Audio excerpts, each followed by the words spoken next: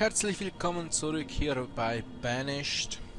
Ich heiße euch herzlich willkommen auf meinem Kanal. Ich bin der Trollenkönig und you are watching Troll TV. Oder was auch immer. Ja, das ist unser letzter Stand hier in Trolltown. Wir haben vieles geschafft.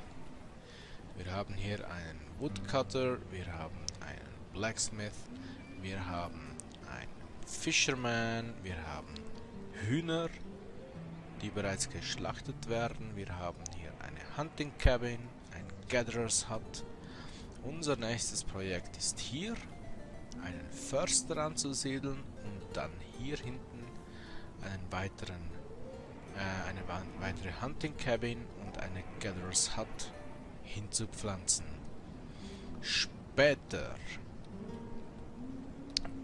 ist es eigentlich meine Intention. Ähm, nein, ich habe vor, hier eine Brücke rüber zu bauen, damit ich dann hier äh, drüben hat es ja so schöne Gebirgszüge, Hügelzüge und bei äh, an diesen möchte ich gerne eine Mine anbringen damit wir so schnell als möglich an Kohle kommen. Kohle wird noch ein sehr wichtiger Baustoff für Stahlwerkzeuge und natürlich auch um Eisen abzubauen, da äh, Eisen, das so rumliegt, halt schon äh, eine endliche Ressource ist, obwohl wir hier hinten auf unserer Insel natürlich noch verdammt viel rumliegen haben. Aber ja, es ist halt schon ziemlich weit entfernt und äh, alles, was in der Nähe liegt, ist besser. Ich dachte mir dann auch so, hey, schau mal, du hast hier die Möglichkeit, eine riesige Brücke rüber zu bauen. Aber dann ist mir aufgefallen, das ist ja ein Hügel, das geht gar nicht. Also in diesem Spiel keine riesige... Oh, doch, hier.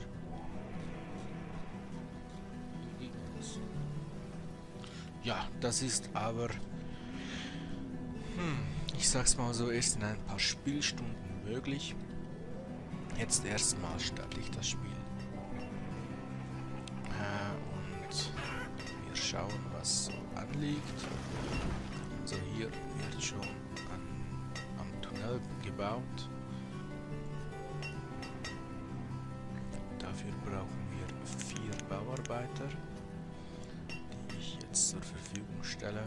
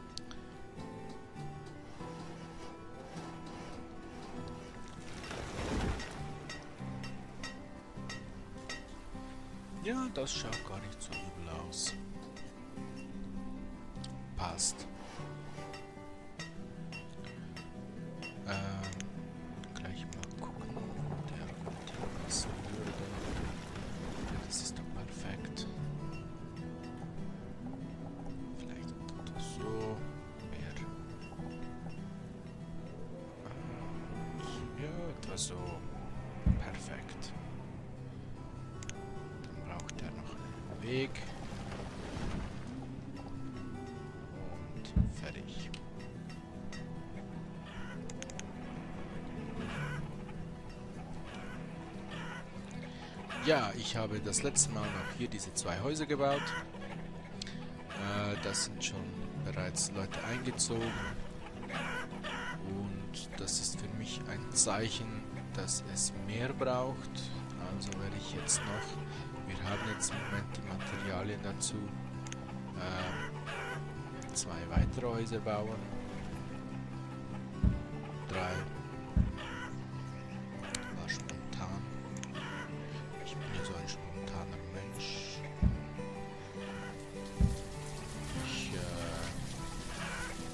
Entschließe mich manchmal spontan dazu, nachts um halb drei ein Video zu drehen. Warum auch nicht? Ich habe ja die Zeit. Nein, es ist ja so, ich habe sonst eigentlich keine Zeit. Durch meine privaten äh, Arbeiten, also Arbeit und bla, ist schon Förster und dann, damit der jetzt natürlich mehr äh, Anbaufläche hat, muss hier aller Stein und all das Eisen abgebaut werden. Das werde ich jetzt gleich so machen lassen. Und das Log-Limit mal auf 10.000 setzen. Sobald hier der Stein weg ist, bekommt er eine eigene Stockpile und dann werde ich gleich daneben einen äh, genau setzen. Äh, einen Woodcutter setzen.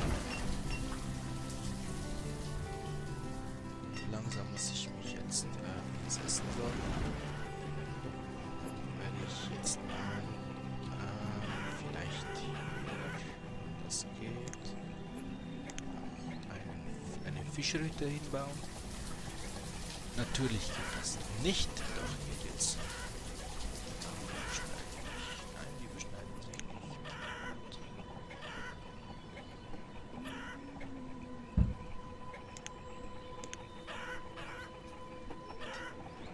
Weg. Weg.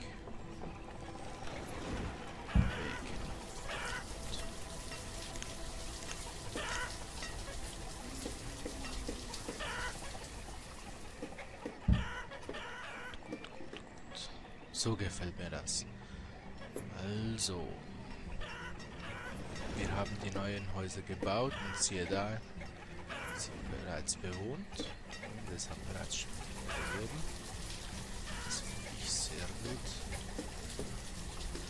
Ähm, das ist, äh, ich, ich habe mir ein paar Let's Plays angeschaut und äh, das ist so meine Meinung. Ich habe einen Fehler entdeckt, den viele machen.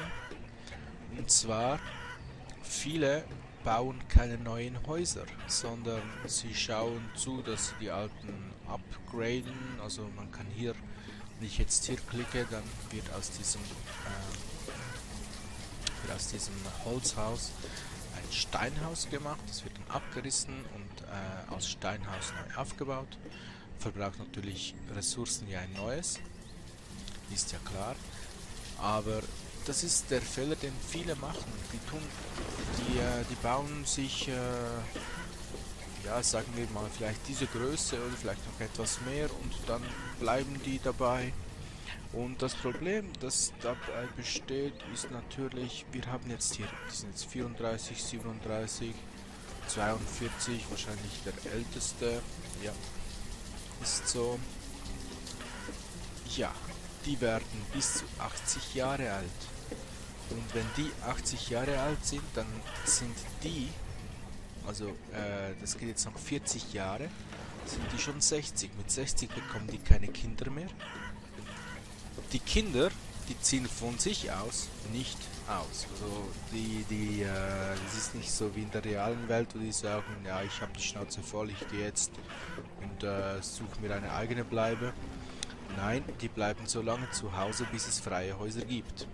Das heißt, wenn ich keine neue Häuser, äh, neuen Häuser baue, bleiben alle diese Kinder, zum Beispiel hier Child 5, äh, in, sagen wir mal 30 Jahren, 35, die Eltern sterben dann, gut, der bleibt dann vielleicht in diesem Haus drin, aber mit 35 noch Kinder,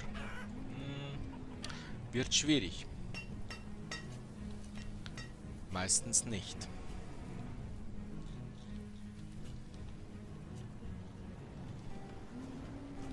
Naja, gut, wie dem auch sei.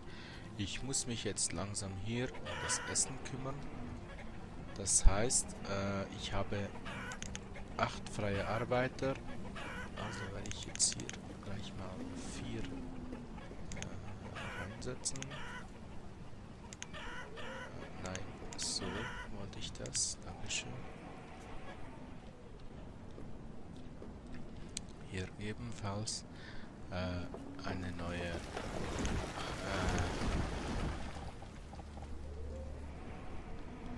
ja, wahrscheinlich so etwa in diesem Bereich.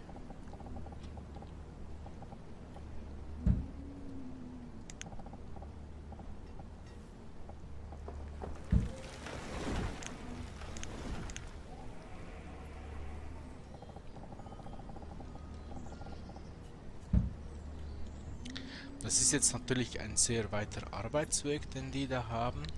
Ist noch vertretbar. Aber irgendwann werde ich dann mir die Überlegung machen müssen, ob es vielleicht nicht besser ist, wenn ich äh,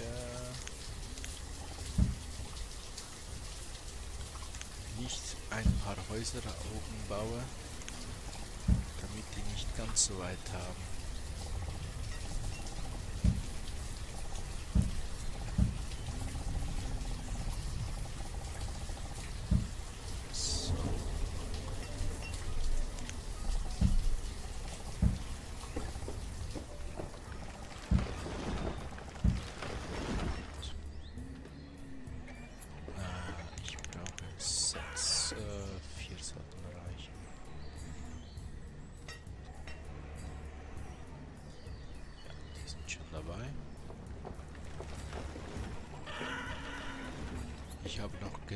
Werkzeug.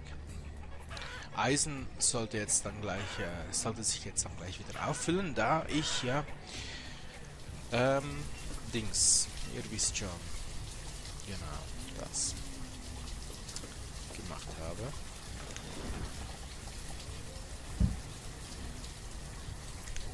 Äh, ja, weil ich ja hier jetzt alle Ressourcen abbaue. Äh, habe ich da. Ja, das ist schon so.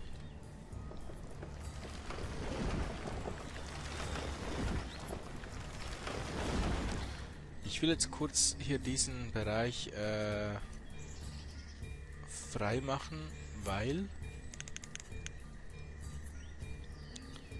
ich unbedingt äh, hier eine äh, äh, ein Stockpile hin haben will. Das finde ich wichtig, damit dieser, äh, dass die Arbeiter hier nicht den ganzen Weg zurück ins Dorf legen müssen, dass sie bis hier Holz ablegen können, sondern dass sie den Holz gleich hier, relativ am Rand ihres äh, Einzuggebiets, äh, äh, deponieren können. Dann werde ich gleich hier gegenüber, also hier die Stockpile und hier gegenüber, dann einen Woodcutter setzen, damit der gleich in der Nähe des Geschehens ist. So, das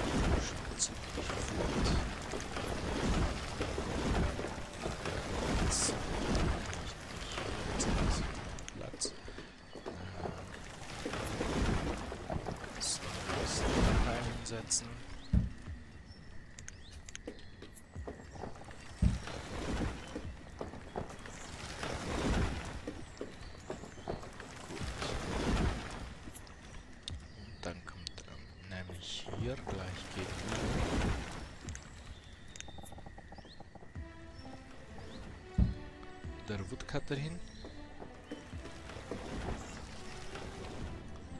So, das läuft.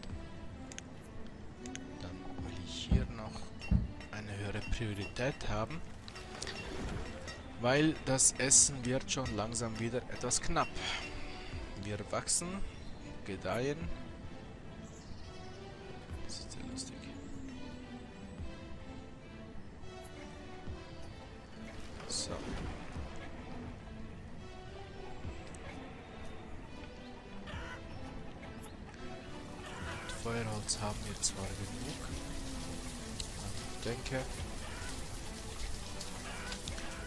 Vorsicht ist die Mutter der Porzellandose Dingsbums Porzellanladens.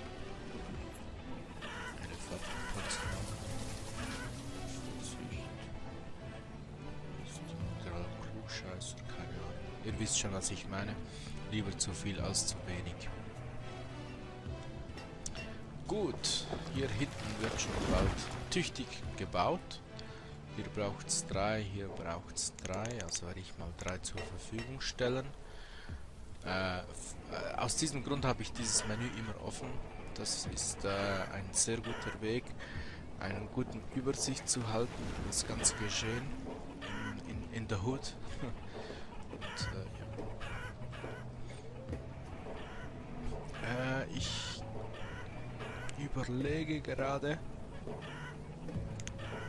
ob ich nicht hier oben den Marktplatz hinsetzen soll. Weil der Marktplatz, ähm, es ist so, äh, die äh, Vendoren, also die Verkäufer, die holen die Materialien von überall her, bringen ihn zum Marktplatz. Das heißt, wenn ich jetzt hier oben diesen Stockpile habe, die Leute gehen nicht da hoch und holen sich das Zeug von da oben runter, sondern die gehen den nächsten Weg und holen sich das Zeug von da. Wenn es da nichts mehr hat, tja, dann kann es schon vorkommen, dass äh, gewisse Leute, gewisse Haushalte äh, einige Sachen halt einfach nie zu Gesicht kriegen. Vor allem, wenn ich hier eine riesen Stadt habe und äh, sagen wir mal die Felder irgendwo hier hinten sind, dann haben vielleicht drei, vier Häuser, die hier gebaut sind, für äh, genug, äh, sagen wir mal, Weizen, aber die hier unten verhungern, weil ja, die einfach den Weg nicht da hochgehen. Das ist natürlich blöde. Und ich habe jetzt gerade gemerkt, ich bin ziemlich blöde, weil ich habe vergessen, äh, ich habe vergessen, den Schneider zu äh, platzieren. Das werde ich jetzt sofort nachholen, weil Schneider und so wichtig und so. Den setze ich jetzt hier hin, damit ich hier hinten die Straße lang ziehen kann. Braucht absolute Priorität.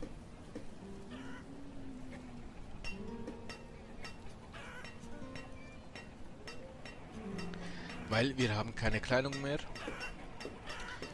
Äh, das Essen wird knapp. Und ja.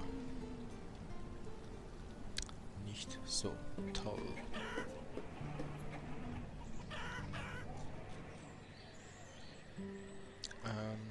Sollten eigentlich noch genug Ressourcen haben.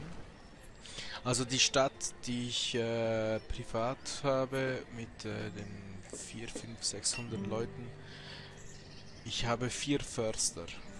Also respektive ich habe vier solche äh, Forester Lodges das macht insgesamt 16 Förster und das reicht aus, um die ganze Stadt mit Holz zu versorgen. Hier kommt es mir so vor, als äh, würden die viel mehr schlafen als sonst was, weil ich bereits jetzt schon kein Holz mehr habe.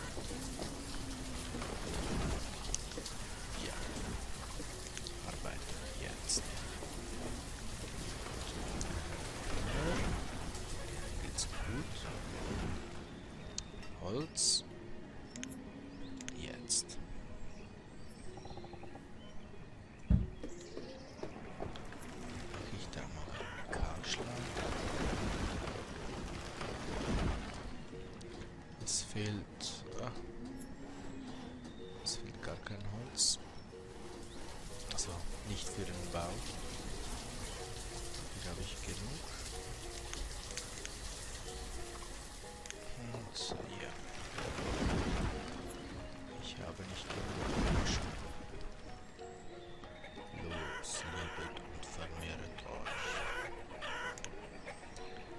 Tja, dann werde ich jetzt nachhelfen. äh, ich muss kurz warten, bis hier das Ganze fertig gebaut ist. Äh, es fehlen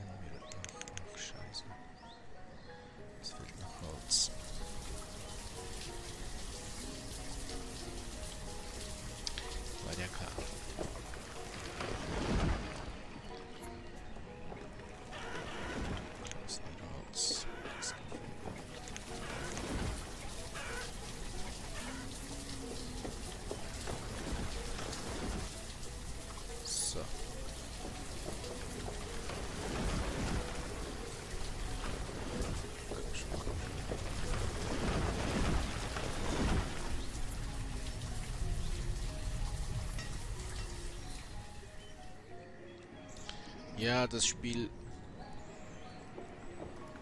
Ähm... Wie soll ich sagen? Ab und zu muss man halt viel warten. Weil jetzt im Moment... Ich habe die Aufträge verteilt und ich warte eigentlich nur darauf, dass sie ausgeführt werden.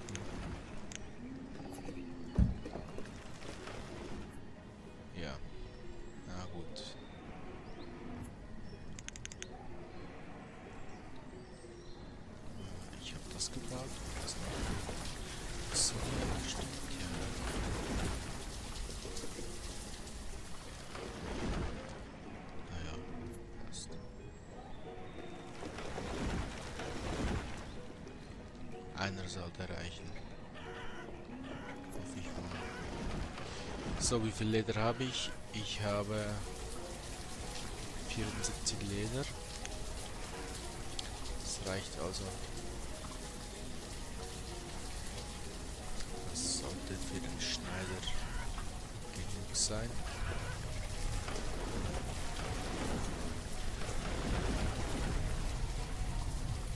Sobald hier fertig gebaut ist.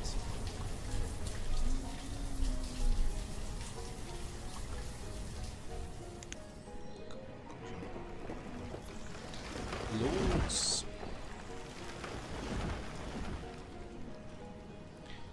Also ich habe 6 von 6 äh, Jäger. Aber von den Sammlern habe ich nur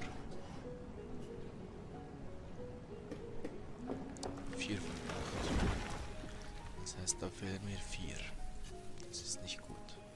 Also sollen die zuschauen, dass sie so schnell wie möglich hier fertig werden. Los, los, los,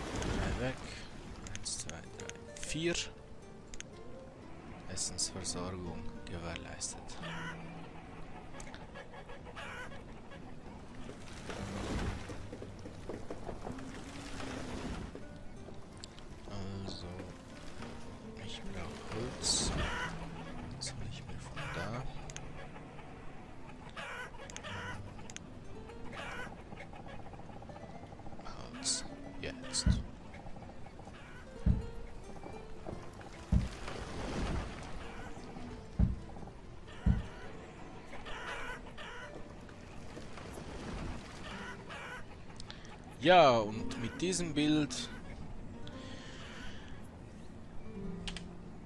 verabschiede ich mich von euch. Es tut mir leid, dass die äh, heute, heutige Folge etwas äh, langweilig war vielleicht. Es passiert im Moment nicht gerade sehr viel. Ich, ich bin gerade in der Aufbauphase. Ihr seht es ja selbst. Ähm, das sind so die Basics, auf die man sich achten muss. Ich muss äh, bestimmt noch in der nächsten äh, Folge ein paar Häuser mehr bauen, weil wir sehen hier, wir haben zwar schon bald 50 Leute bei uns, aber ähm, ja, das Problem ist halt, ich will nicht, dass, äh, dass mir das Dorf ausstirbt.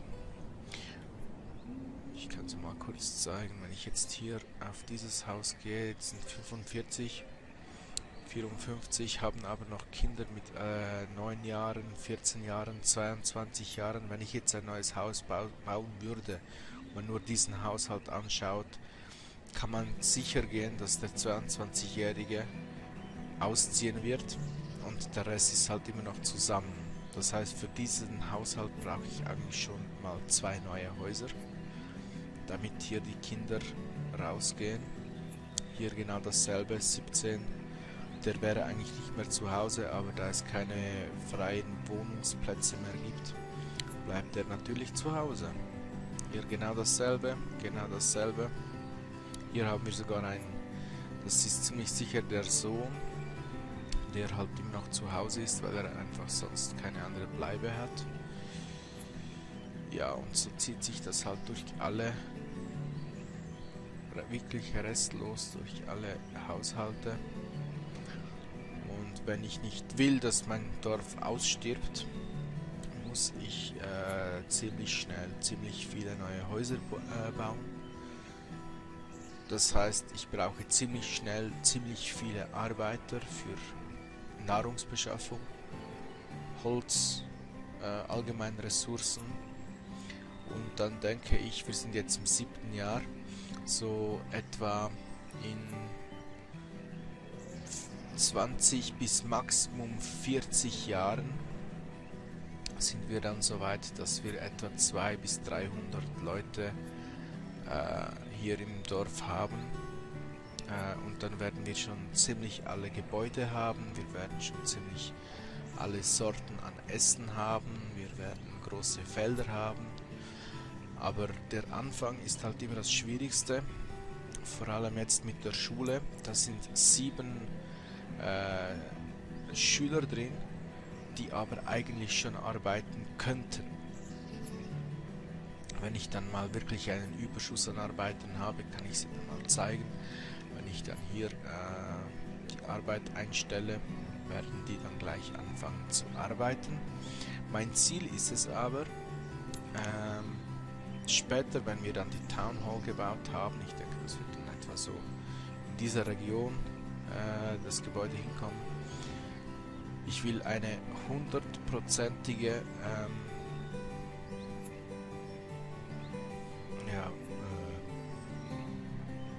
ich will, dass äh, im Dorf 100% aller Menschen ausgebildet sind. Weil nur das garantiert mir, dass ich dann, wenn ich später äh, Probleme habe, dass die Arbeitskräfte nicht nachlässig werden. Das ist etwas äh, vom Schlimmsten, das ist mir beim ersten Mal passiert, da habe ich überhaupt keine Schulen gebaut und irgendwann, ähm, ja, die taten alles andere nur nicht arbeiten und das kann ich nicht gebrauchen. Da bin ich knallhart. Naja, klar, als Schweizer. Nein, Scherz beiseite. Ähm, in diesem Spiel ist es wirklich sehr wichtig, dass man die Arbeitskräfte richtig einteilt, dass man darauf achtet, dass äh, die Arbeiter das wirklich richtig auch machen und wenn die natürlich nicht ausgebildet sind, können die das nicht und machen die auch nicht, was man ihnen sagt. Und äh, ja. Genug gequasselt. Ich wünsche euch noch ähm, einen schönen Tag, morgen, Mittag, Abend, was auch immer, eine schöne Woche. Schaut euch das Spiel an, es macht tierisch viel Spaß, auch wenn ihr jetzt seht, äh, ich habe jetzt, äh, äh, wenn man jetzt diese beiden Folgen zusammennimmt, die ich ja beide gleichzeitig aufgenommen habe, also gleichzeitig in der gleichen Session aufgenommen habe, äh, spiele ich jetzt eine Stunde und in einer Stunde habe ich es geschafft, von 16 auf 36 Leute zu kommen, also äh, Entschuldigung, auf knapp 50 Leute zu kommen. Aber für mich zählt ja eigentlich nur diese Zahl hier, die erste, weil das sind meine Arbeiter und ich achte mich auf die, der Rest interessiert mich gar nicht. Und das ist eigentlich kläglich, aber das ist dieses Spiel, besser geht's nicht, schneller geht's nicht und doch, es geht schon, aber dann wird man ziemlich schnell Hunger leiden. Man muss auf alles Acht geben und ja. Ich hoffe, es gefällt euch. Wenn ja, Daumen hoch. Wenn nein, lasst es bleiben. Ich wünsche euch und bis zum nächsten Mal. Ciao.